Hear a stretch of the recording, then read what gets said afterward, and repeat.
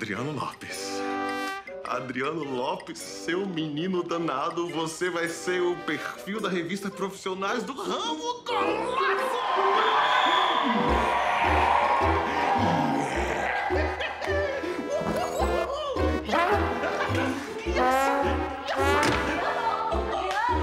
Adriano, que isso? Por que, que você tá pulando que nem um macaco? Valeu pela força, mas não vai dar. Pra participar desse Festa Jovem Tudo Team, tem que ter uma música inédita. Eu não tenho nenhuma pronta. Inventaram não é? Música não se inventa, minha filha, se compõe. De qualquer modo, a sua irmã está certíssima. hã? Ô, Guguinha, você tem tanta inspiração, meu filho. É. Eu tenho certeza de que você pode escrever a música vencedora. Até amanhã. É. Gente, não é assim. A inspiração não vem de uma hora pra outra. Tem que transpirar. Anda, Adriano, fala! Que, houve? Você tava.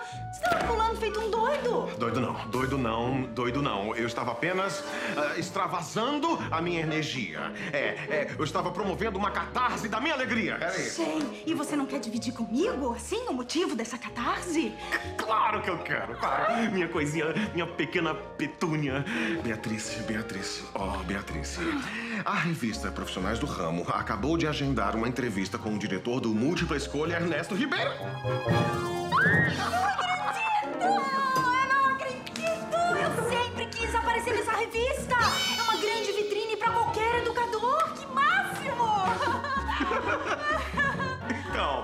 Então, olha só, Beatriz, eu, houve só um, um pequeno mal entendido, não é mesmo? Porque eles querem entrevistar o diretor do colégio. Então, é, quem vai dar entrevista sou eu. Amor, amor, escuta isso. Saiba como descobrir o duende que ilumina seu caminho. Vamos descobrir o seu?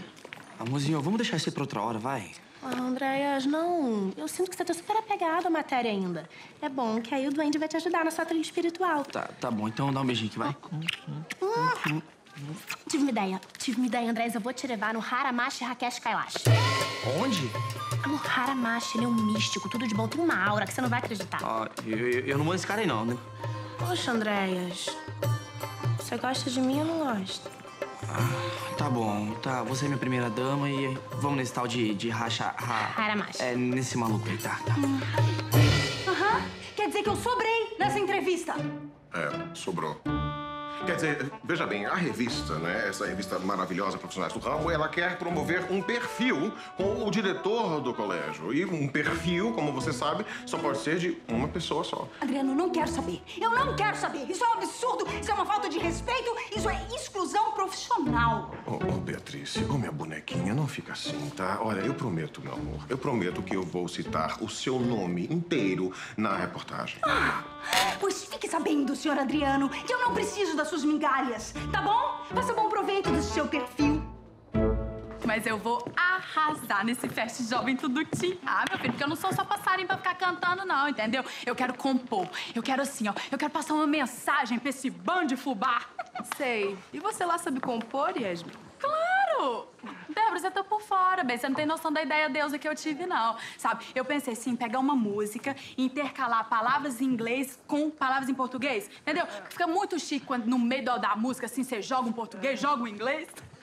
Então tá, então mostra pra gente. Agora? Ah, tá. Mas assim, eu vou mostrar só o refrão, porque eu ainda não fiz tudo, entendeu? Tá, vou cantar. É mais ou menos assim, ó. Tô bege, tô bege, tô pink.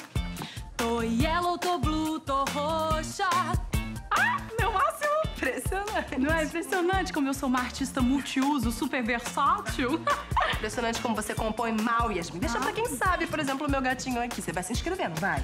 Não, não, Débora, pra mim não dá. Tem que ter uma música inédita. Ué, Faz- então, por que, que você não escreve uma das músicas que você compôs pra mim? Você- Não, porque a gente já tá, sei lá, há uns meses juntos. Deve ter escrito várias músicas pensando em mim.